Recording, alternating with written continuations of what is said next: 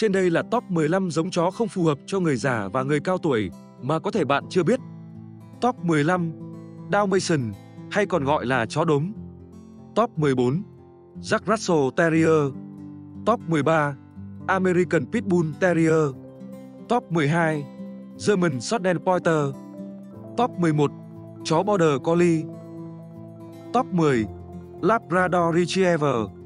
Top 9 Pug Dog hay còn gọi là chó mặt sệ. Top 8 Chó săn thỏ Beagle.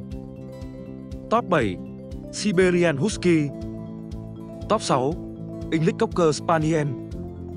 Top 5 Chó Rottweiler. Top 4 Akita Inu.